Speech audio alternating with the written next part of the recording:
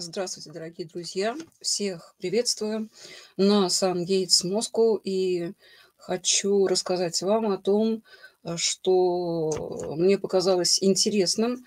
Прислали мне мои друзья недавно статью, в которой рассказывается о пророчестве Жириновского. А, я сейчас вам покажу ее, поделюсь экраном.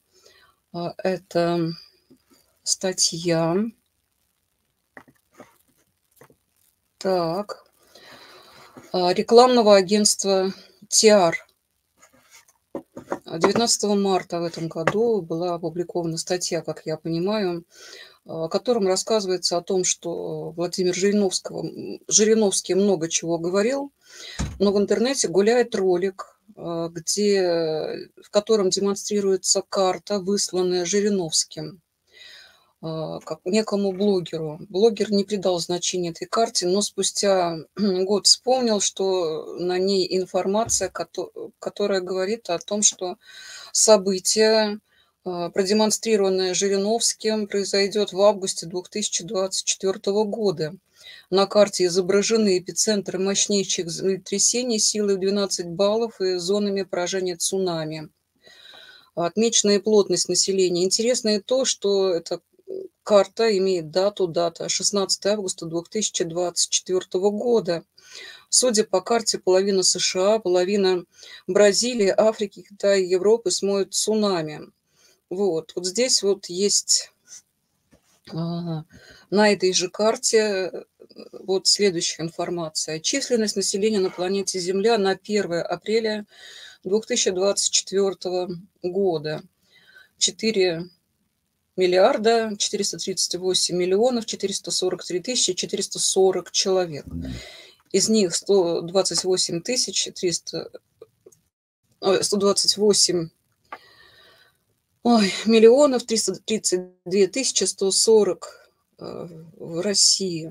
Конечно, здесь очень интересно будет нумерологам посмотреть на данные цифры. Это прям такие цифровые когда, наверное, 17 августа 2024 года, вдруг 17, то есть на следующий день после 16 августа численность населения составит с точностью, смотрите, до человечка буквально 543 миллиона 446 тысяч 220 человек. 20 человек где-то, по-видимому, в Европе останутся, потому что в России будет 144 миллиона 302 тысячи и эта численность сохранится практически на 1 января 2030 года. Численность населения ожидается 553 тысячи 303 553 а, миллиона 303 тысячи человек. А в Москве будет, в смысле в России, Москва – это столица России, да, в, в России 146 миллионов 633 тысячи. То есть в апреле 4 миллиарда людей в 2022 году, а в августе полмиллиарда. Куда денутся люди, задается вопросом автор статьи, почему население России резко увеличивается, э, уменьшается к 17 августа. И дальше, э, там же на этой же карте написано следующее. Количество государств на планете Земля. 1 апреля 2022 года 208 государств, 17 августа 2024 года 43 государства, 1 января 2030 года 12 государств. То есть реально ли такое? Еще академик Сахаров писал про водородную бомбу на дне океана. Что вы думаете по предсказанию на карте? Хочется думать, что событие фейк, и Жириновский подобного не делал. Ну, что можно сказать? Вставляя разные факторы, я прихожу к выводу, что это не предсказание а, ясновидящего. Мы видим карту, видим зоны и видим дату, которая связана с реальным гравитационным моментом. Но, конечно, я сомневаюсь, что подобный гравитационный момент может сам по себе вызвать подобную катастрофу, как то, что мы видим на изображении. Этого быть просто не может. Почему? Потому что ну, каждые 19 лет могут совпасть подобные фазы. И может быть э, столь э, значимое событие, но подобного события не было, так как Жириновский имел отношение к власти, посвящен в некие планы. Я думаю, что речь идет еще об одном э, плане, который, соответственно, науки, научные мысли разрабатывался. Дело в том, что самому человеку не под силу сделать а, что-то столь глобальное, чтобы, ну, не знаю, перевернуть землю, чтобы случилась какая-то катастрофа. Но вот использовать как рычаг какой-то благоприятный момент, который можно усилить, находя а, точки, определенные проекции, вот как в этой статье было сказано, какой-то водородной бомбочкой, которая усиливает а, какой-то процесс. Вот это вот возможно каким-нибудь еще другим оружием. Сейчас мы знаем, что на нашу планету влиять могут. То есть э, не думаю, что а, заявление было сказано просто так. Я думаю, что подобное заявление имеет под собой почву. Я думаю, что это проект.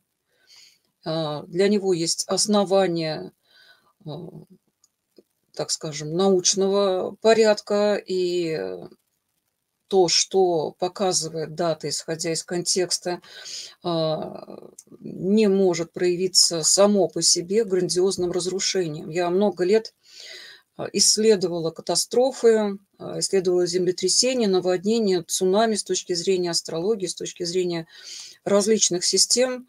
Мне нужно было понять, а, что происходит, и у меня есть исследования по поводу того, как в суперлуния случаются землетрясения, действительно большие землетрясения часто повторяются. Есть э, исследования фазах э, ретроградного Меркурия с нижним солнцестоянием, которые также отмечались землетрясениями. Есть совпадение между этими фазами. То есть есть реальные события, которые можно показать и продемонстрировать.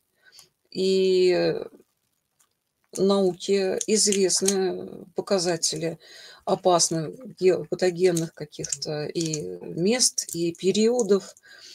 А, и вот Дорогие друзья, я думаю, что Жириновский озвучил планы, очередные планы по уничтожению населения. Их было несколько. Очевидно, один из них мог сработать вот сейчас, буквально 16 19 а, августа. Но также я более чем уверена, что этот план не сработает, а, исходя из другого контекста.